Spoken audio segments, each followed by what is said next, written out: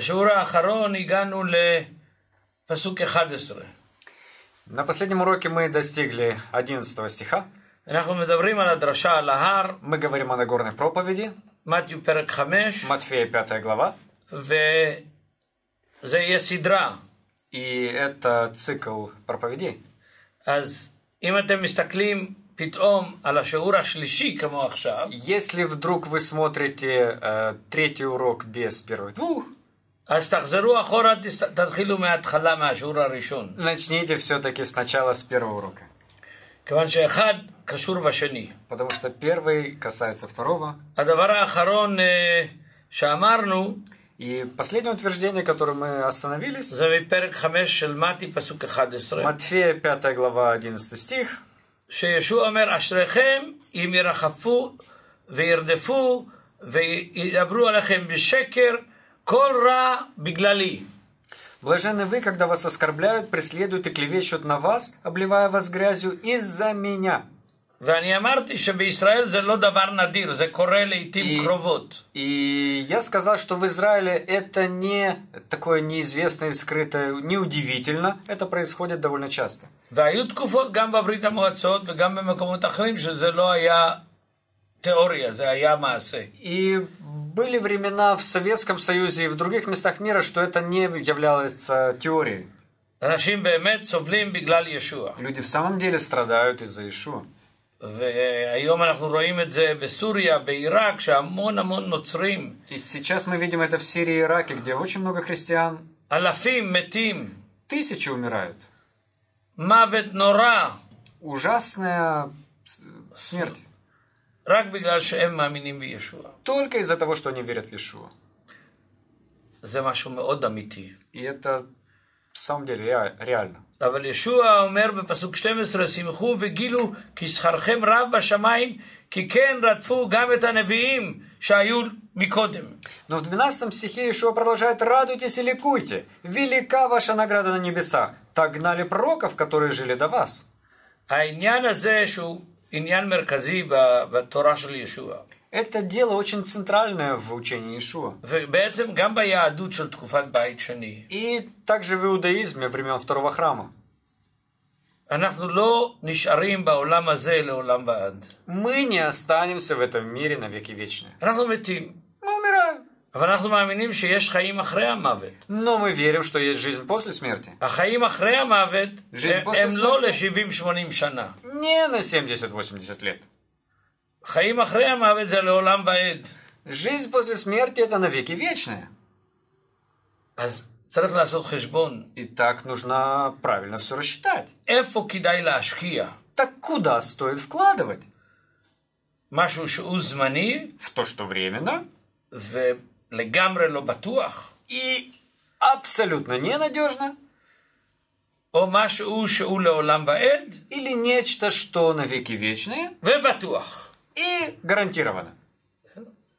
אז ישוע מלמד, אל תשימו את האוצר שלכם בעולם הזה בארץ. И Ишуа говорит, не вкладывайте ваши сокровища в этом мире, в этой земле, איפה שהחלודה где есть ржавчина והאש и э, тление, יאכלו אותם. э, и моль его съедает. גנבים יבואו, ייקחו אותם. Воры придут и украдут.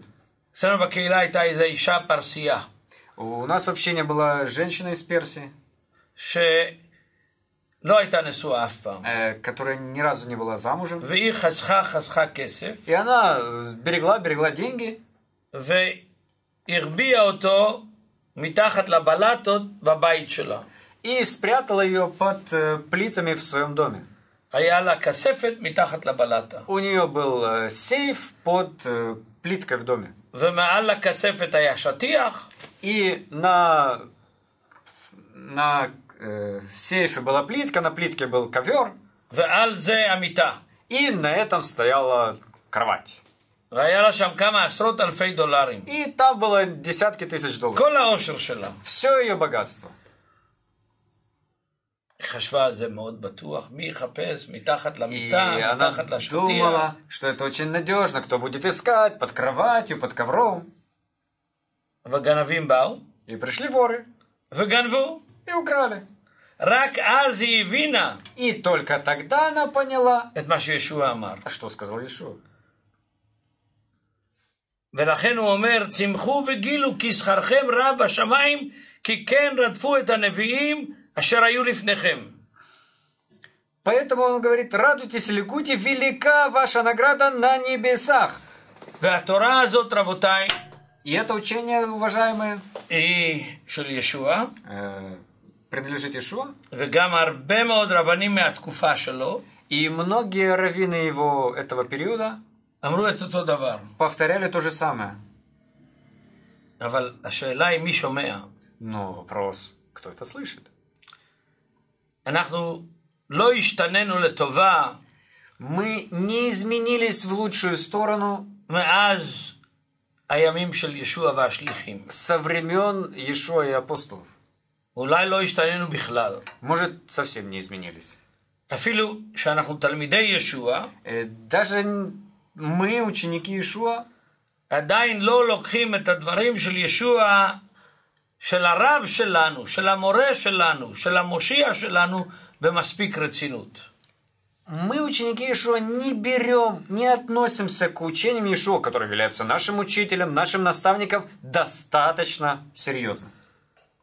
אנחנו שומעים את זה, Мы это слышим, מתפעלים מזה, או, זה באמת חוכמה גדולה. восхищаемся. О, да, действительно, высокая мудрость. Точно не собирать сокровища наши на земле. Но в конце концов, мы, как и все люди, мы не чувствуем себя уверенно если у нас нет банковского счета, на котором есть деньги, которые достаточно для месяц, два месяца, чтобы не работать. Мы чувствуем себя обнаженными. Но Ишуа говорит, Ашрехем. Счастливы вы. אם האוצר שלכם יהיה במקום בטוח. איפה שאין גנבים, ואין חלודה, ואין אש שיאכל את הצמר. אז אנחנו צריכים לשמוע לישוע בתור מורה, לא רק בתור מושיע мы должны услышать Ишуа так же, как учителя, не только как спасителя. Машия за давар нифла. Э, спаситель это здорово. За хесед. Это милосердие. Авал хохмат хаим. Но житейская мудрость. Гамкен Также можно научиться у Ишуа. Он снова обращается к этому обществу. Тысячи, которые сидят на солнце, его слушают. И он говорит, вы соль земли. Если соль перестает быть соленой, чем возвратить ее вкус? Она ни на что не годится. Ее выбрасывают вон под ноги людям. הרעיון הזה, Это идея. וגם הרעיון הבא, И также следующая идея.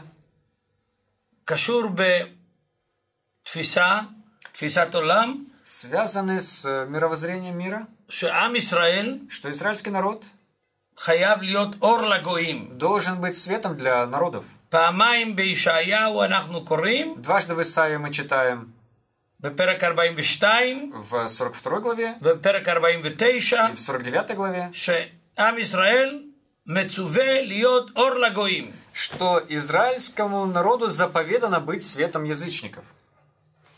ויחד עם האור המלח. И вместе со светом солью. עם ישראל הוא פוליסת הביטוח של האנושות, של העולם. Израильский народ – это э, страховочный полис э, всего человечества.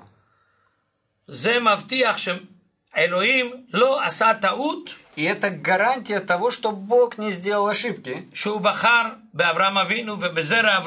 Что Он выбрал э, Авраама и его семя.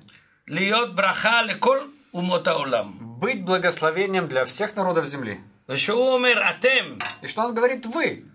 למי הוא מדבר? Кому он говорит? הוא מדבר לאיזה כנסייה פרבוסלבית או פרוטסטנטית Он או говорит קתולית? э, православной церкви или протестантской, или католической? לא, הוא מדבר לעם ישראל. Нет, он говорит израильскому הוא народу. מדבר ליהודים שישבו שם באלפים Он говорит לשמוע אותו. ев- тысячам евреев, которые сидят и слушают его. אבל זה גם נכון לגבי המאמינים. Но это также относится и к верующим. אבל הבחירה Но выбор, שאלוהים בחר באברהם, что Бог выбрал Авраама, הוא בזרע אברהם עד עולם. и его семени на веки вечные, היא כדי שאברהם וזרעו יהיו ברכה לכל אומות העולם. для того, чтобы Авраам и его семя было благословением для всех народов земли. הוא הבטיח את זה לאברהם, Он пообещал это Аврааму, ליצחק Исааку וליעקב. и Якову. ולכן הוא פונה אל, אל, אל האנשים שיושבים שם ושומעים אותו. Поэтому он обращается к людям, которые сидят там и слушают его. אנשים שבאו מרחוק, Люди, которые пришли издалека, במיוחד בשביל לשמוע אותו. особенно для, специально для того, чтобы его послушать. והוא אומר, אתם И он говорит, вы המלח, соль, אתם האור, вы свет, והמלח יכול להתקלקל, и соль может испортиться, והוא לא יהיה שווה שום דבר חוץ И- מלדרוך עליו עם הרגליים, и не будет пригодна ни для чего, кроме того, что наступать на нее ногами. ואתם האור, И вы свет, האור של העולם, свет этого мира, ואתם צריכים לשבת למעלה, и вы должны сидеть вверху, כמו כל אור נכון שיראו אותו מרחוק. как э, любой источник света, чтобы его видели издалека.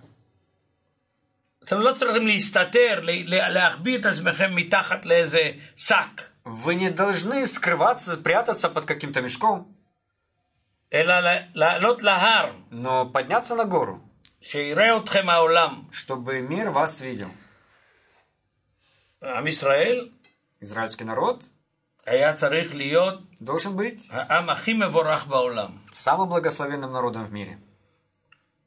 אלוהים בחר באברהם, Бог выбрал Авраама, ביצחק, Исаака, ביעקב, Якова, נתן לנו תורה בסיני, дал нам Туру на Синае, נתן לנו תפקיד בהיסטוריה, дал нам функцию в истории להביא את הגאולה ואת המשיח לעולם. принести искупление и Мессию в этот мир. אנחנו היינו צריכים להיות הביטוח של העולם, Мы должны быть э, гарантией для этого мира, המדריכים של העולם, האור ש- שמדריך את העולם. в- вожатыми э, для мира. אבל לאורך ההיסטוריה נכשלנו. Но в течение истории нам это не удалось. אבל בסוף Но в конце נצליח.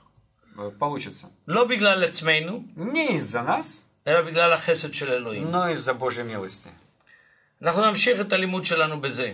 Мы продолжим наше учение в- э, дальше. פסוק 15. 15 стих. אין מדליקים נר לשים אותו תחת האפה, כי אם על המנורה להאיר את כל הבית. Когда зажигают светильник, его не накрывают горшком, а ставят на подставку, и он светит всем в доме.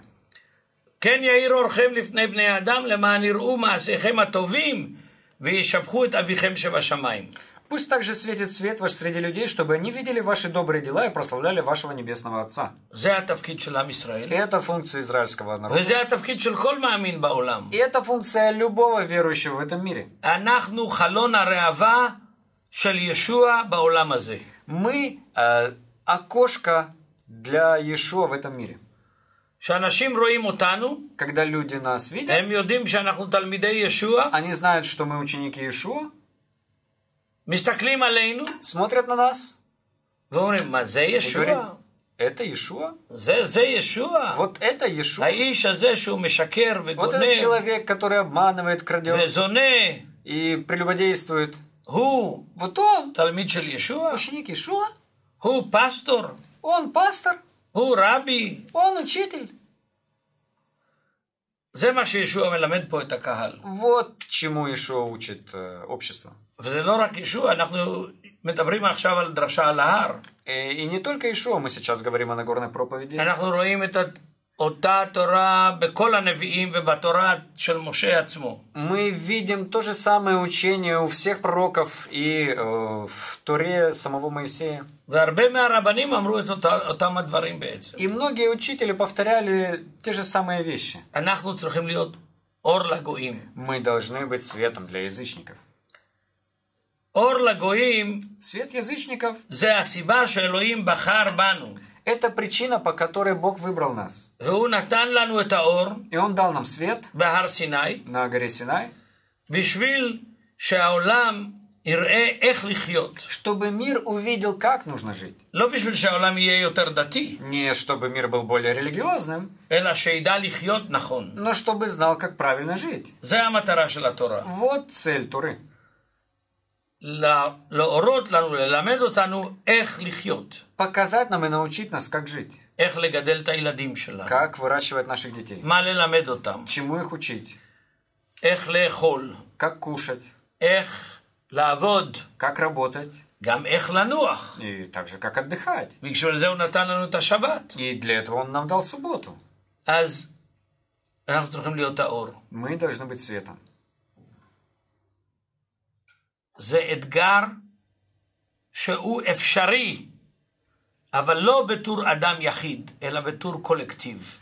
Это вызов, который э, возможен реально сделать, но не как одиночки, а как э, коллективу. ישוע בעצמו אומר שזה קולקטיב. Иешуа э, сам говорит, что это э, общественно, коллективно. הוא לא אומר אתה Он не תהיה האור. говорит, ты будь светом. הוא אומר אתם. Он говорит, вы свет мира. הוא לא אומר אתה תהיה אור קטן בשביל החברים שלך. Он не говорит, ты будешь маленьким светом для своих друзей. הוא אומר אתה תהיה אור של העולם. Он говорит, ты будешь светом для всего мира. ואם אנחנו נהיה אור של העולם, И если мы будем светом этому миру, ונאיר את דרכם של בני אדם, и будем освещать э, дорогу людям, השאלה היא איך. так вопрос как? והתשובה שישוע נותן לנו פסוק 16, И על Иешуа, ידי המעשים הטובים שלכם. и Иешуа нам дает ответ в 16 стихе посредством дел. ואנחנו תמיד מתפלאים מה זה מעשים טובים. И мы всегда удивляемся, ну как это добрые дела? שאלו רב מאוד מפורסם, האח של הרב הראשי של ישראל עכשיו, שאלו אותו בטלוויזיה. По, по телевизору спросили раввина, который является братом главного раввина Израиля. והוא הבן של הרב הראשי הקודם. И он э, сын главного, предыдущего главного раввина. הוא רב מאוד חשוב בירושלים. И он очень важный раввин в Иерусалиме. שאלו אותו מה זה להיות קדוש. И его спросили, что значит быть святым? והוא ענה להם, И он сказал им, להיות השומרוני הטוב. и он сказал быть добрым самарянином. כן. זה מהברית חדשה, רק בברית חדשה. И это только в Новом Завете, только в- в одном месте есть понятие Это давар доброго мадхим. самарянина. И это потрясающе. רב אורתודוקסי, Ортодоксальный рав בטלוויזיה по, הישראלית, по израильскому телевидению אומר, говорит, להיות קדוש, быть святым, להיות כמו השומר, השומרוני הטוב. быть как добрый самарянин. זה מעשים טובים. Вот они, добрые дела. מ- מ- מדברי ישוע ומהתורה אנחנו יכולים ללמוד מה זה מעשה טוב. Из слов Ешуа, из э, Торы мы можем узнать, что такое добрые дела. מעשים רעים אין צורך לדבר. А о плохих делах нет нужды כולם рассуждать. יודעים אותם. Все их знают. ועכשיו אנחנו נפסיק כאן И ונמשיך сейчас мы тут בשיעור הבא. остановимся и продолжим на следующем уроке. שלום לכם רבותיי. Мир вам, уважаемые.